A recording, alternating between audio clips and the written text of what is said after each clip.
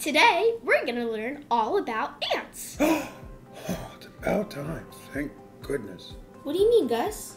My Aunt Millie and Aunt Barbara have been asking for years for us to make a video all about them, all about aunts and uncles. Not those ants, Gus. The insect ants.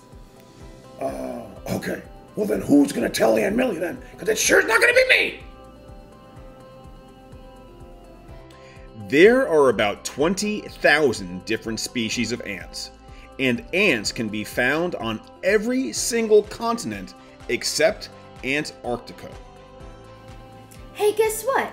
Did you know that ants live in enormous colonies called a formicary? And these colonies have millions of ants living in them. Imagine trying to find a place to sleep at night. Wow, that would be hard. Each ant colony has three different types of ants.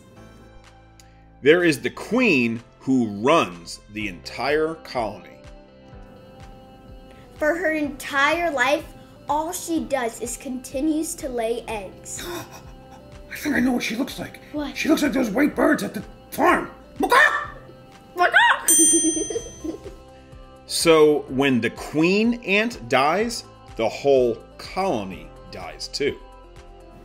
The second type of ant are the males, also called drones. Male ants are much smaller than the females and also have longer antennae. Male ants have wings, and their only job is to mate with the queen. And once they mate with the queen, they die a week or two later. The third type of ant is a female worker. They find food, take care of the eggs, tend to the babies or larvae, as well as build the anthill, repair the nest, and even act as soldier ants. Soldier ants protect the colony and will even attack other ant colonies. We mentioned one of these a moment ago, but the ant life cycle has four stages of development egg, larva, pupa, and adult. The queen lays the eggs, which will hatch into larvae in a few days. The larvae are just like babies and are fed and cleaned by the worker ants until they pass through the pupal stage. This is kind of like a teenager ant. A week or so later, the adult ant will emerge and the metamorphosis I think you mean metamorphosis. metamorphosis is finished. she got it! Ah! Most ants build a type of mound or anthill that they live in. Most mounds are built of dirt or sand, but some really smart ants use twigs to make them even stronger. And if I had arms, I'd flex, but I can't. So I'll just make this face. Other ants live in logs or trees that have fallen down. You got something in your teeth. Carpenter ants build nests in logs or even houses. Where do they keep their hammers? Hammers. Carpenter ants, hello. These carpenter ants actually don't use hammers, Gus. They chew through wood to make nests, which can also cause damage to houses. An ant's home is really neat. Okay, hold on. Can I ask you a question? Yes. When you say that an ant's home is really neat, do you mean really sophisticated or very clean? Sophisticated. Oh, what did you say again? Sophisticated. Oh, sophisticated. Okay, perfect. They have many different tunnels that connect all the rooms or chambers together. Some of these sophisticated chambers are used to store food, while some are used to look after little baby ants.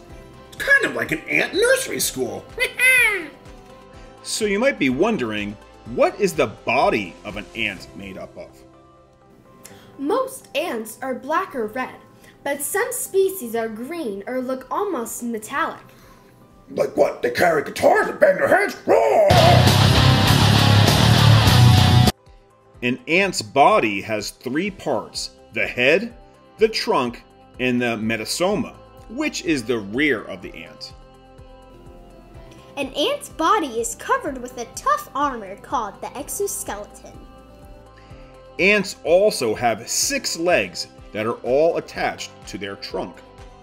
Ants have amazing vision because they've got many different lenses in their actual eyes. And ants do not have ears. Instead, they feel vibrations from the ground through their feet. Ants also have antennae, which also let them hear, taste, touch, and smell. They also use their antennae to touch one another and talk to each other in their ant language. Ants have a pair of large, strong jaws on their head that open and shut sideways like a pair of scissors. Ants cannot chew and swallow solid food like we do. So ants swallow the juice by squeezing pieces of their food. Then they toss the dry part away and look for something else tasty to eat. Hey, guess what? Did you know that ants don't have lungs? They actually breathe through tiny little holes that cover their body. When ant colonies need to move, find some food, or sense there is danger nearby, they leave a special trail that has a scent called pheromones so other ants in their colony can follow. Ants have lived on Earth for more than 100 million years. Wow. Now that may be a long time, but a single ant only lives for about 45 to 60 days. Hey, guess what? Ants can carry up to 20 times their own body weight. That's like you trying to pick up a car and carry it to school. Hey, take a look at the people near you or in your classroom because this next fact is really cool. Did you know that there are 1 million ants for every human in the world? Wow. Hey, guess what? Did you know that ants never sleep? They spend their entire life awake and working on whatever task they have to complete. Ants can bite as well as sting, and some ants can really hurt you, like fire ants and ants in other parts of the world. But don't be too afraid. If you see an ant running around, let it do its thing. You never know. It could be simply bringing back something needed for the huge colony it lives in. Well, hey, guess what? Now we all know a little bit more about ants. Thanks for watching, and don't forget to smash that thumbs up button. It really helps out our channel. Sure does. Make sure to subscribe. Ah, what?